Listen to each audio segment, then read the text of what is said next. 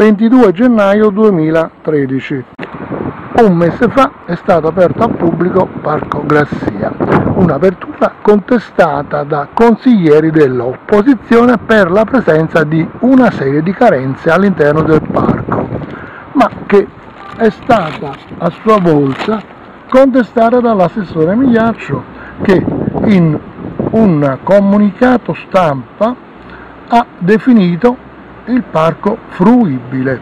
Abbiamo reso il parco fruibile. Per verificare chi avesse ragione siamo tornati a Parco Grassia per renderci conto di come sia fruibile. Per ciò che riguarda i bagni, no, sono chiusi, ermeticamente chiusi.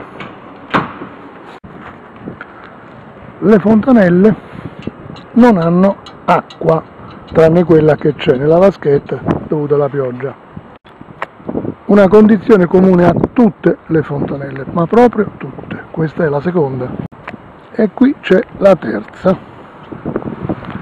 Andiamo verso la quarta. Anche qui di acqua, nemmeno una goccia. L'area dedicata al passeggio dei cani padronari è ridotta come un'area calpestata da una mandria di buoi. Il cordolo che delimita i vialetti è praticamente distrutto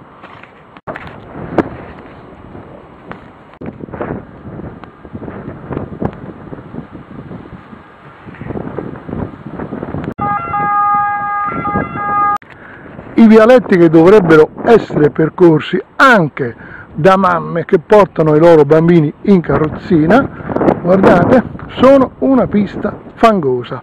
E per concludere vi mostriamo anche un angolino dedicato ai rifiuti.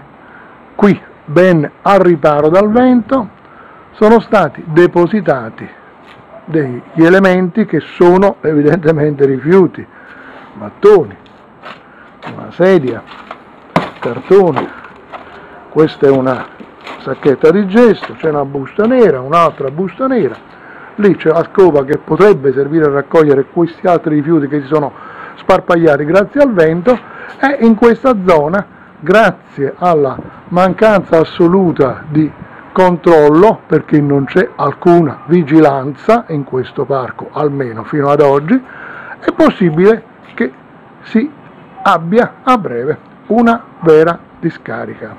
Considerando tutte queste carenze che vi abbiamo mostrato, è possibile concordare con l'assessore Migliaccio?